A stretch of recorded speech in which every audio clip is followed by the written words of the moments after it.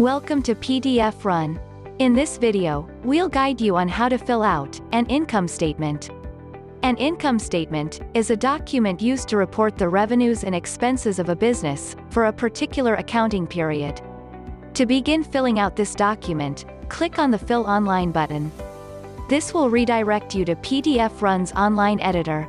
First, enter the business name, followed by the business address. Enter the start and end date of the income statement. Under Income, enter the following information for the given accounting period. The sales income and miscellaneous income of the company. Then, add both of these fields to get the total income.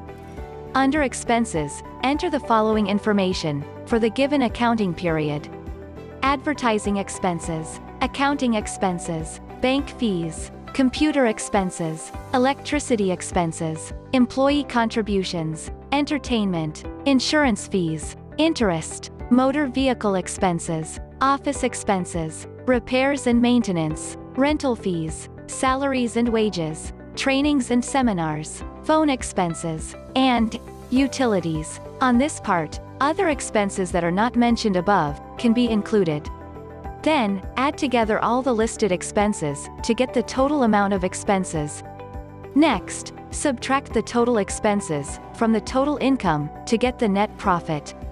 To complete the form, please provide the name of the one who prepared this document, along with the date this was accomplished.